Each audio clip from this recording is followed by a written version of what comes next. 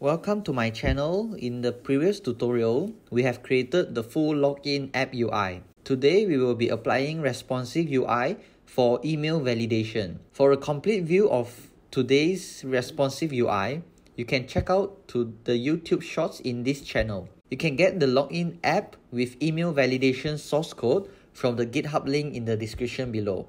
Don't forget to like this video and subscribe to our channel. So here we have created a text field for email. When we enter any characters, currently there is no any regex validation applied, which we doesn't know the input is a valid email format or not. So firstly, we will be creating a validate email address function. This function will return a boolean indicating that if it is a valid email format or not. This function will take a string input.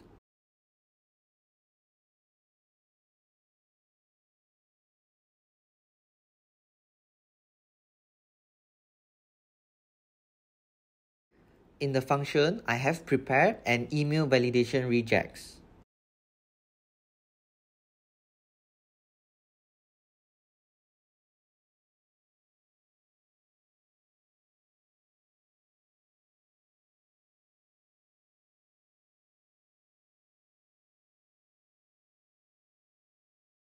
Next, we will check if the input string match the email regex.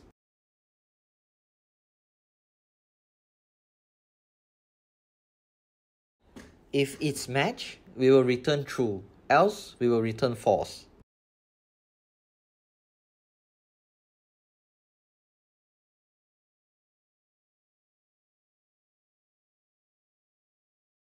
So now we have completed our validate email address function. Now we have to apply this validate email address function in the text field widget on change function parameter. Due to the reuse of the input form widgets for email and password, for the function, we have to check if the title is email to apply the validation for email text field only. Another objective of today's tutorial is to apply responsive UI. To achieve that, we will store the response from validate email address function to a is email valid boolean and according to the boolean value, we will display different UI. And by default, the is email valid boolean will be set to false. If the input value is empty, we will set the is email valid boolean to true.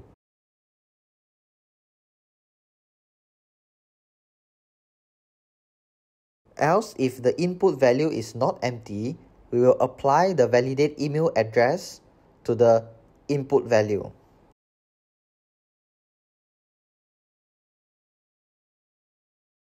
And according to the return value from the validate email address function, we will set the is email valid boolean to the respective value.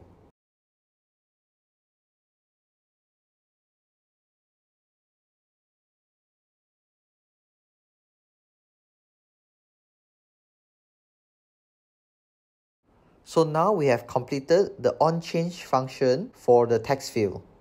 Now we will be creating the responsive UI. It will be applied to the border of the text field. So we have a boolean that keep tracks of the email valid status and when the status change, the UI will change accordingly.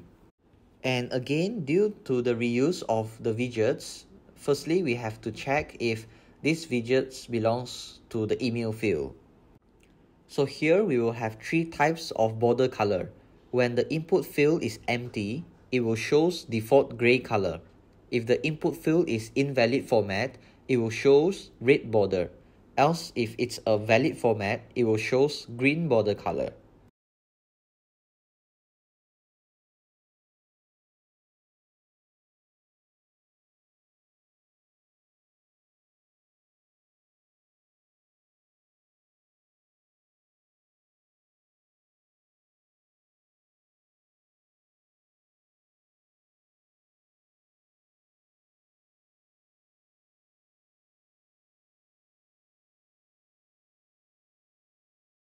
And now we have implemented responsive UI.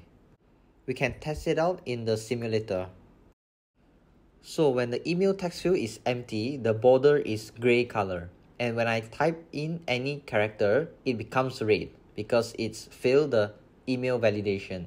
And when it becomes a valid format, the border change to green automatically.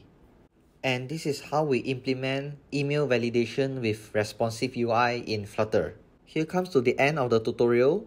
If you have any question, feel free to comment below. Don't forget to like the video and subscribe to our channel.